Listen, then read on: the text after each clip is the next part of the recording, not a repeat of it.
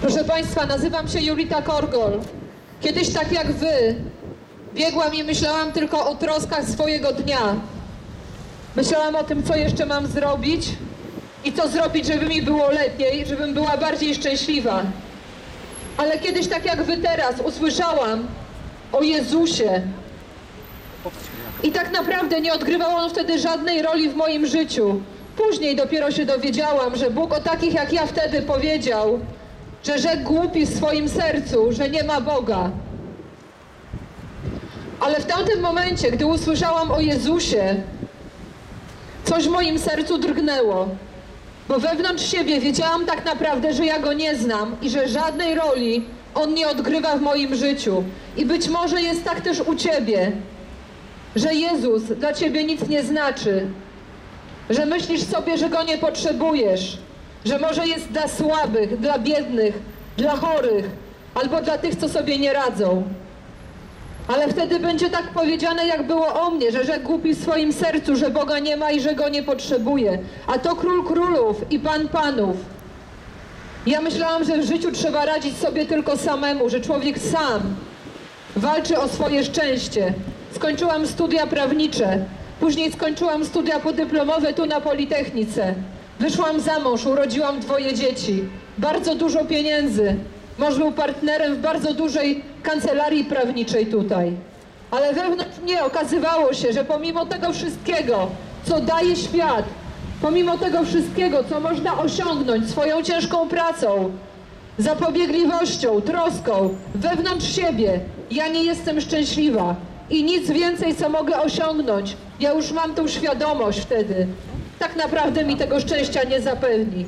I dotarła do mnie dobra nowina o Jezusie, tak jak dociera teraz do Was. I zaczęłam się zastanawiać, czy ja tego potrzebuję. Serce drgnęło i mówiło, że tak, ale umysł, ta dobrze wykształcona głowa mówiła, po co ci to? Po co ci ten Jezus? Po co ci rozmyślanie o tym, że umarł za ciebie, że poszedł na krzyż i zmartwychwstał? Przecież ta mowa dla mojej dobrze wykształconej głowy była jak jakieś szyderstwo, jak głupota. Ale to też jest powiedziane, że mowa o krzyżu i Jezusie jest uznawana za głupotę przez tych, którzy idą i giną, ale jest mądrością dla tych, którzy uwierzą.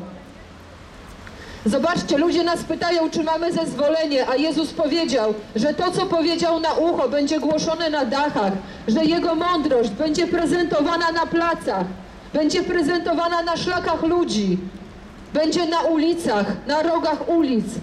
Będzie Jego słowo dogłoszone do ludzi po to, żeby szli i żyli. Będzie głoszone po to, żeby zwyciężali, po to, żeby diabeł nie niszczył ich życia, po to, żeby nie chorowali. Położyłam ręce na człowieka, który miał zawał serca i niedotleniony mózg. Miał 4% dotlenienia mózgu. Tak naprawdę lekarze powiedzieli, że nie ma szans.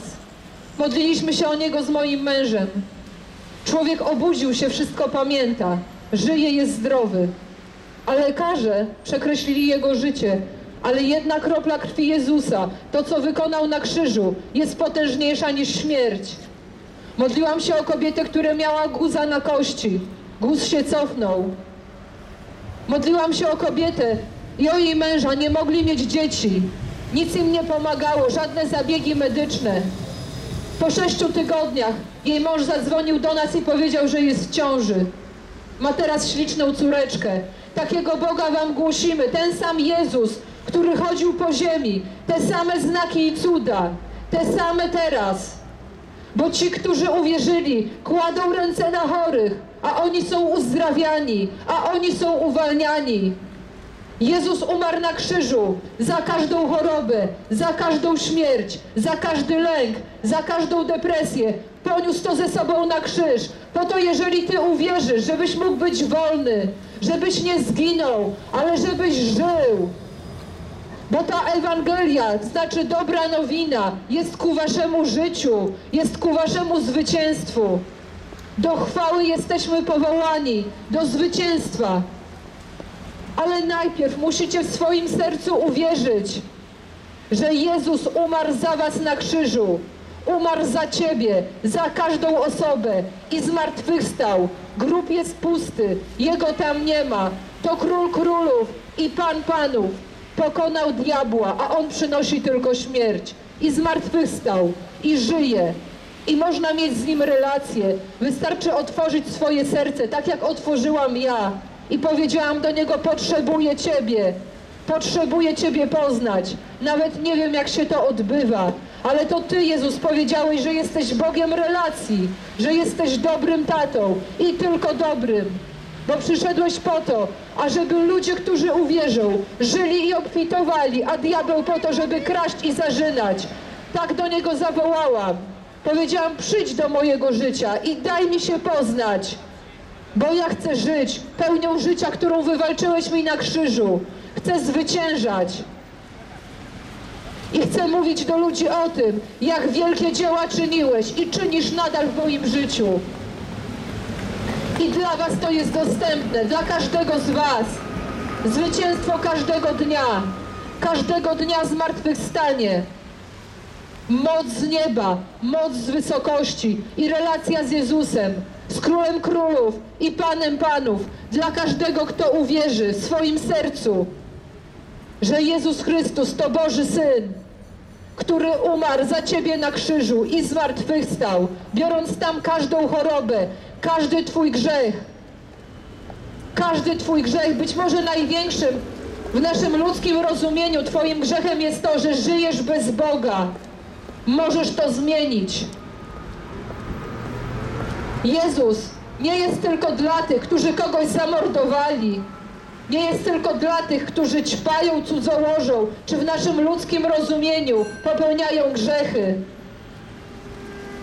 Bóg tak nie patrzy. Być może żyjesz bez Niego i to jest Twój grzech. Duch Święty, jeżeli otworzysz serce, przekona Cię o grzechu, o sprawiedliwości i o sądzie. Przekona Cię o tym, że potrzebujesz Jezusa, bo nie ma ani jednego sprawiedliwego, nie ma takiego, który by nie zgrzeszył. Wszyscy zgrzeszyli. Wszyscy. Każdy potrzebuje Jezusa. Jeżeli otworzysz swoje serce i powiesz do Niego, że chcesz Go poznać, On da Ci się poznać, tak jak dał się poznać mi. Da Ci się poznać, powiedz do Niego, pociągnij mnie do Ciebie, pociągnij mnie, ja otwieram serce. Nie potrzebujesz jakiejś scenografii, nie potrzebujesz ludzi ani pośredników. Potrzebujesz przyjść Ty i zawołać Ty. Być może ktoś z Was jest chory na jakąś chorobę. Modliliśmy się już na ulicy o ludzi, którzy mieli raka, byli uzdrowieni.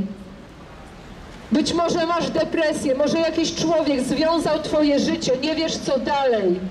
Przyjdź, weź swój cud, królestwo się przybliżyło. Jezus powiedział, że On będzie żył w tych, którzy będą w wiedzi- wierzyć w swoich dzieciach. To my wierzymy w Jezusa, każdego dnia z Nim żyjemy. Głosimy Wam tą prawdę, która jest w Biblii napisana. Nie dodajemy od siebie. Możecie doświadczyć swojego cudu. Możecie zawołać tak jak my do Jezusa. Możecie przyjść do nas, porozmawiać z Wami. Przybliżyło się do Was Królestwo. Jest na wyciągnięcie ręki, ale to Wy musicie podjąć decyzję. Bóg nigdy nie naruszy wolnej woli człowieka, nigdy tego nie zrobi. Dał nam wolną wolę, również do tego, że możesz wybrać Jezusa, żeby żyć, ale możesz Go nie wybrać. To jest Twoja decyzja.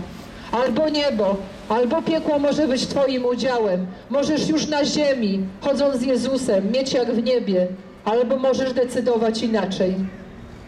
Twoja wolna wola. Możesz iść za moim przykładem, a możesz iść za przykładem tego świata. Będzie Ci pokazywał złoto, ale wewnątrz siebie nie będziesz czuł szczęścia. Nic Ci go nie da. Nic poza Jezusem. Zawołaj z głębi swojego serca, że chcesz Go poznać. Chcesz poznać Króla Królów i Pana Panów. Stworzyciela nieba i gwiazd.